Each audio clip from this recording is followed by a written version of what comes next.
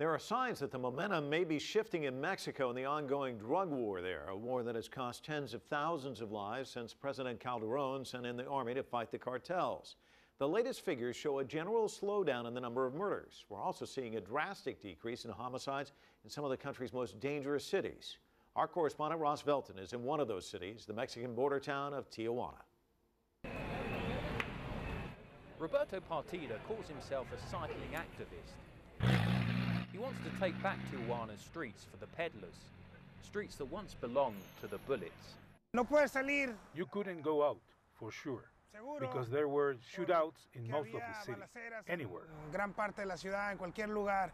But now the bikers are back, because now it's safer out there. In the worst period in Tijuana, we had almost 7,000 crimes per month. Now it's around 3,500, 4,000.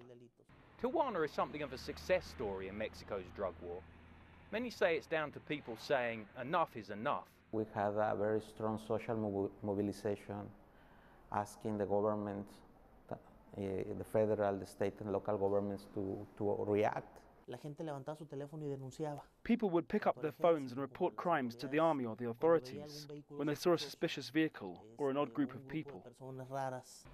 Ciudad Juarez is another border town where drugs gangs have fought for control.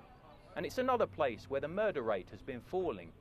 They have more control of mainly of local police forces. They have more control in the justice system. But the problems are still significant.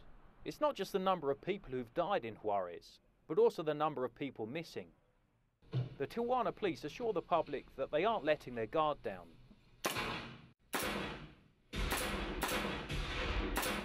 Even if the worst could now be over. It's about 8 o'clock here in downtown Tijuana and the bars are starting to fill up. Back in the old days, people say this whole area was almost deserted. But nowadays, the city doesn't quite inspire the fear it once did. Ross Velton, CCTV, Tijuana, Mexico.